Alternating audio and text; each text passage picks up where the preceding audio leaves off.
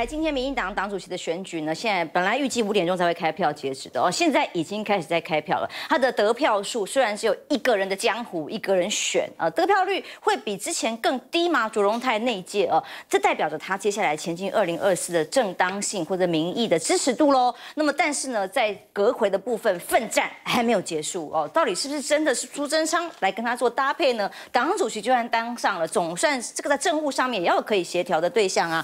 那么张善政哦，他过去在查所谓八年七大案的时候呢，哎，结果张汉政传出来说很不满，被拿来记起。桃园五大案马上开打，要来拼清理战场。为什么？拿一个停水缺水本来是经济部的事，把它通通丢到地方上来，这就是因为郑文灿的人马刻意操作，好像没有了郑文灿，没有了五星市长啊，桃园就要缺水了，是这样吗？这个是为了入阁而造势吗？那么当然，张汉正找李宏源来针对几个大案哦，竹围渔港啦、平镇地下停车场这些地方，总体检，包括桃园的新的总图、巴德的国民运动中心，有没有机会能够有一个？比较真的这个真相，或者是真的有一些状况在里头，可以客观的被检验出来。那么当然他说不会像前台北市市长柯文哲一样啊，这个当然宜轩说了，用政治操作把五大弊案打成五大案。那当然后来好像也没有什么成案就是了哦。所以苏贞昌这两天呢很忙，一般如果说看守内阁的话，有这样心理准备，会比较谨慎在运用这些，尤其是预算的问题。但他这两天不是，他大撒钱，两天砸了三百五十八亿。啊，先手今天新的当然对我们相关的居民来讲是好消息啦。系东线啊核定了之后，框列了两百七十八亿元设计发包，而经费暴增八倍的这个以前镇渔港在高雄哦很暖的给他送暖的陈其迈，立刻给了多少？本来只是要三千万哈，变成十亿。好，就现在去追加成八十亿了，这个钱开心花，随便花。那先前包括高铁延伸线等等的，哇，其实，在这样的随口开的支票或赞助款里面，专家直批是糟蹋专业吗？哦。预算用在刀口上啊，但是在对于苏贞昌来讲，这两天最重要的事情是什么？那么连花莲人要回乡都出现很大的困难的苏花公路坍塌了，这一坍塌不是连军舰都出来要帮忙运送这些居民或想要进到进出这个花莲的人吗？苏贞昌院长是隔了七十个小时之后才终于去了，那么像比较像。割到尾 是不是？就是说他已经是抢通的差不多的时候，才到现场去视察强灾的情况。那么同时，当然赶着先去投票，投完票才去视察投票。哎，比这个灾情严重，是对他心目中的这个优先顺序是这样。而现在呢？抢通之后呢，可能就只能开放一天三个小时，其他时间又没有办法开放。对于当地的民众来讲，影响会有多么的大哦？那么当中间七个小时、七十个小时时间在忙什么？看到他说他酸哦，到高雄去嘛哦，然后酸有人私下偷偷搔手，呃，公开你要挺我啊，私下搔手不好哦，或者是他在开毕业餐会，还是在宴请阁员呃拉拉手呢？包括了呃跟陈吉仲、吴钊燮、王美华都现身在这个圆山饭店的这个宴会。会里头啊，所以当呃这些现象在发生的时候，华航继续发生了一个大家很关注的新闻。除了之前内政部说我们两千三百万人的个资被拿去网络上卖，现在连华航的会员资料更详细哦，包括了详细的个人 email、出生年月日这些个资的资料，通通被骇客给入侵。政商明星各自外泄，其中包括了赖清德、张忠谋、郭台铭、吴钊燮、林志玲、小 S，通通都有。这里头的资料因为很细哦，包括 email、手机跟出生年月日，更会让这些会员人担心跟紧张啊。坏华骇客这边的呃的扬言是说，华航其实不肯承认各自外泄，接下来还要陆续公布入侵入境华航的系统。那要告诉大家什么呢？显然他只是针对华航不肯承认。各自外泄这件事情而来，他到底要什么？现在大家还要观察。而民航局已经说要介入，立刻要求提出改善报告。然后呢，政府机关还能做什么？天才 IT 大臣又能够在数位安全上做什么吗？那么唐凤这几天，我们昨天就讲了，他出访到立陶宛去，公开的在。外外国的媒体的访问，路透社啦等等这些媒体上面访问的时候，就说台湾现在在前线，我们很重要，我们要帮助乌克兰干嘛呢？做数位的战后重建，帮他们做基础建设哦。但是他也要帮乌克呃，包括乌克兰、立陶宛，也要做数位的这个呃合作的网络，帮他们建立起来。我们有真的这么厉害的吗？我们当时在问说，怎么样可以避免呃，因为各自被泄露而。害我们被诈骗，民众很恐慌很害怕。那你光这个最基本的要求都做不到，政府机关的网站有没有骂不害不被害？没办法。然后这个这么高预算成立的一个数位部，大家都在说你要不要先帮助我们台湾人？啊，你讲的要去帮乌克兰人，乌克兰会买单吗？乌克兰这个时候会理你吗？还是说你给钱我们自己来处理？其实这个显示整个政府的施政在一个不是呃民众需要的情况之下撒币。那么在真正需要的地方，却又看不到伸出任何援手吗？斌哥，我觉得你去现在去讲帮乌克兰战后建数位基础建设，就像我们台湾自己的数位基础建设建好没有？我们自己如果都没建好，去帮人家建什么？而且更好笑的就是，乌克兰这场战争什么时候会结束？他哪来的经费？谁晓得？这些根本虚无缥缈的事情，现在去谈谈这个干嘛？更何况乌克兰跟我们连邦交都没有，他一直跟中国大陆关系比较好，你是搞不清楚状况吗？那如果你要讲中共同路人，乌克兰是标准的中共同路人哦。那你去帮助中共同路人干嘛？我也搞不清楚我们的逻辑到底是什么，实在是不懂。那华航这个事情其实很严重，因为华航有三百万会员，这个骇客是宣称三百万会员的个资他已经全部掌握在手中，而且他的分批每天不断丢一些出来，然后华航就死不认，一开始说没有没有没有，那个那个格式不一样哦，那个跟我们掌握的资讯不一样，人家就每天公布给你看，那你华航还不认吗？那民航局只是要求改善，那你到底在干嘛？嗯，这个东西要赶快去彻查。哎，副总统的资料都被公布，这不是国安问题啊？那你们都没反应的吗？如果连一个主持人去问蔡英文总统有没有阳过，你们都要这么紧张，这个你还不赶快去查？还在那边粉饰太平，到底在干什么呢？那苏贞昌，我我觉得他很明显的啦，他就是在保卫他的阁魁，他就是死不想下台，所以用尽各种方法。正常来说。你一个不管怎么样，不管苏贞昌会不会留任，内阁本来就势必在年后要大改组，全世界都知道这件事。你怎么会在这个时候核发这么多预算？是不是莫名其妙吗？这本来就应该要留给下一任内阁去处理的。就算是你留任，也应该你下一任再说。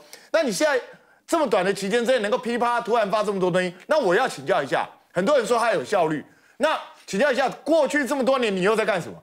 你为什么之前不核发，一定要等到最后这一秒钟才要核发？这不是在做人情，在做什么呢？那至于你们这边质疑说，苏花公路在抢通了七十小时，你都不去看，他不去看是对的。他去哎那边，你知道苏花公路就那一条路，他如果再去的话，那边已经超级大打击，对，不要去是对的了。他现在去我都觉得错，那边抢通跟你有什么关系啊？通就通了嘛，通了你就让他赶快通，而且现在只是半通不通，现在他们以后是就就是今天抢通之后是半个小时。那个从北往南半个小时，从南往北就恢复到三十年前我走苏花公路那个时代那个样子，然后他还慢慢继续去通，所以这个是工程的东西，不懂的人就不要去。去了，老实讲，苏贞昌懂什么工程？他去能够看出什么东西来？你行政院长能够拨，就是拨人力物力，他需要什么资源提供给他就好，根本不要去搞这些东西。但是苏贞昌最近动作做的真的太难看，而且直接明讲。讲说像陈其迈这样子支支持我这种才是对的，很好。你们这种偷烧手的就不对。他的意思非常清楚嘛，不要偷烧手，不要扭扭捏捏，全部站出来挺我，留任。对，告诉蔡英文说就是我我要留任。对，孙昌现在意思就是这么简单呢。但是拜托院长不要用什么偷烧手比喻，偷烧手通常是一种性暗示，你知道 这个这个其实是有点怪。我我不知道你跟他之间是什么情节。那重点是苏贞昌现在摆明了他就是要留任。那蔡英文你要让他留下来吗？其实我是很高兴他留任，我我相信委员大家跟我看法相同，最好留任，高度支持，对，一个都不要跑，对啊，而且把林志坚一起纳入内阁，拜托你，郑文灿、林志坚全部纳进去，对啊，我我觉得这才是一个完美的内阁，才是民党二零二四的战斗内阁。委员呢？怎么看苏贞昌最近的动作频频？苏贞昌这个的心思啊，被韩冰兄啊给摸透了。不过他至少每一天都有领薪水，所以每一天都有做该做的事。他只是有些做的很 over 的一点，比如说陈其迈稍微赞美他一下，他马上给他八十亿，哇，前镇离港大改建，哎，那个。可不可以苏贞昌？我讲你好话，我跟韩冰讲你好话。我那个内湖南港还有很多建设要做，可不可以要个八十亿来？哦，对，所以我是觉得苏贞昌有时候很搞笑，你觉得？我觉得蛮有喜感的哈。至于这个清水隧道，他去看应该可以啦。但是问题是他他应该更积极讲说，那我好，我开通第二个隧道，哎，我花多少钱来改善我这个苏花跟公路的一个品质嘛？啊，不能说今天踏了，你怎么知道下一次不会踏？这是一个很大的一个问题了啊。但是我对这个唐凤是很有意见哈，因为唐凤给我们大家最大的贡献是在疫情期间，每个人都要扫 QR code，是，啊，这全世界最大的 QR code 就是他搞出来的，很好笑啊。然后简讯费用，然后政府付对啊，简讯花去那电信业者好开心他在民进党的角色就是到民进党去外面吹嘘，我们一个第三性的的人可以当 IT 大臣，好吧，就算是一个加分吧。那问题，你这 IT 大臣哦，不管从你的能力、你的成果也好，在全世界说搞 IT 的，你跟水准更不及格嘛。你搞搞了什么东西？那人家问你说这里还包括内政部的户政资料外泄，问他结果怎么样？你说华航是民是民间企业也就算了，你内政部的外泄，人家问你，然后哦那个不归我管。数位部成立的目的不是就是为了所谓数什么什么数啊哎什么国安就是什么数位安全，是啊，结果搞了老半天这个出问题也跟你无关，那个出问题也跟你无关，只有什么？只有去卖面的哈平台外送平台跟你有关。算了吧，关门算了吧。国民党如果再回来执政，这个就关门，这这这什么部啊？他还把那个什么国科会啊，那个什么变成一个委员会，把他升上来当部。我不晓得蔡英文怎么会这么喜欢他，搞出这么荒唐的一个部位，找个这么荒唐的人。如果这个人是天才的话，那北京中关村呢，随便马路上一抓哈，至少有数百个天才。我要对张善政说一句几句话哦，我说善政兄啊，你好不容易当上桃园市长哦，这个要特别注意哈，你的政治问题的处理能力哈，在这一波里面受到很大的伤害。那你不能怪你的敌人攻击你，是你的部队本身有问题，你的反应，你的部队啊，要不加强改善，下一波的攻击力道会更强。何况当郑文灿变成你的长官的时候，你会瞧一瞧排山倒海的压力有多大。那照道理来讲，你身边有很懂政治的苏俊斌当副市长啊，那你自己虽然以前比较没有涉及到政治上的攻防。这个时候你就不要再去犯这些错，什么三更半夜自己一个人哦开车去看现场，你不会打电话给你的警察局长是不是？把他所有的副市长通通从床上给我嗲起来，要看就去现场看嘛。你你这个，而且你要马上去做什么政治上的防卫工作。